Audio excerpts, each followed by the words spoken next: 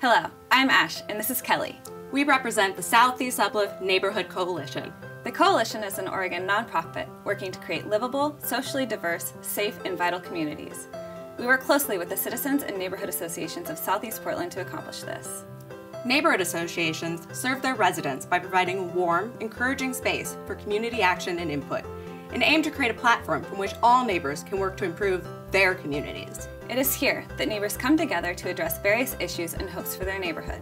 Our organization provides grants, land use expertise, training opportunities, project development, and administrative services to help residents build the neighborhood of their dreams.